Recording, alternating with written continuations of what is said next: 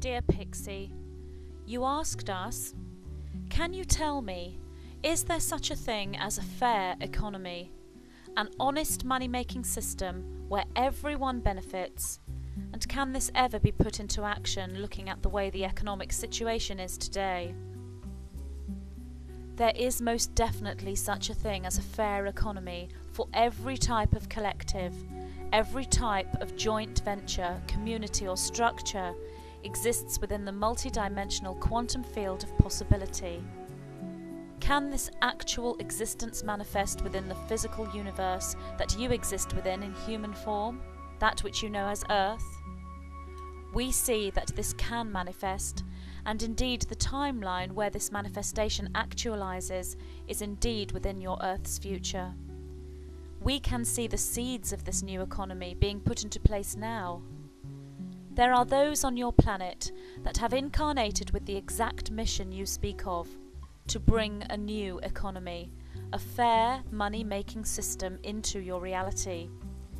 Many of those with this blueprinted mission have incarnated within the indigo vibration and have awakened to the reality of this mission in childhood.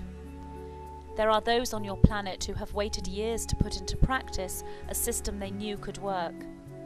Their cellular memories hold the knowing of this working for entire civilizations within other planetary systems. In order to put this understanding to your perspective, we would say to you that there are civilizations living on what you would class as other planets who exist within this exact economy that you describe. An economy where abundance flows in all its forms, one of those forms being currency.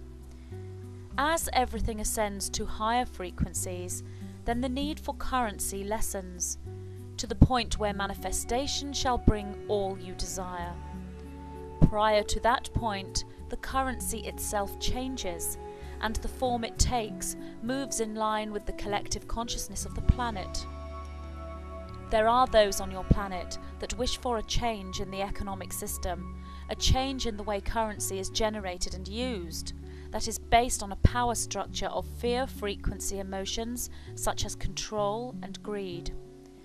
These are the frequencies that are transmuting, changing, crumbling, and falling to make way for the new, honest economic change that shall be empowered and engineered by those within the indigo frequency.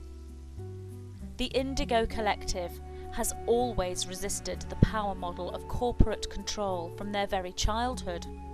Their warrior spirits have moved them to a place of searching their cellular memories to find the economic system they know exists.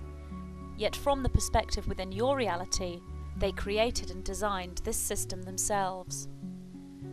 Whilst this new economy is within Earth's nearest future point within the timelines around you, indeed it shall also be created by you.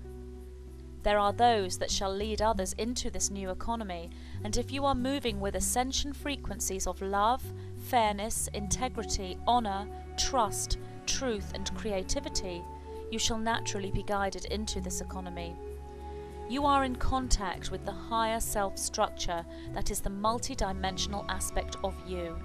And that aspect of you, your guides, your angels, your higher self, shall lead you into synchronistic situations and systems and structures that are in alignment with the frequency you exist within.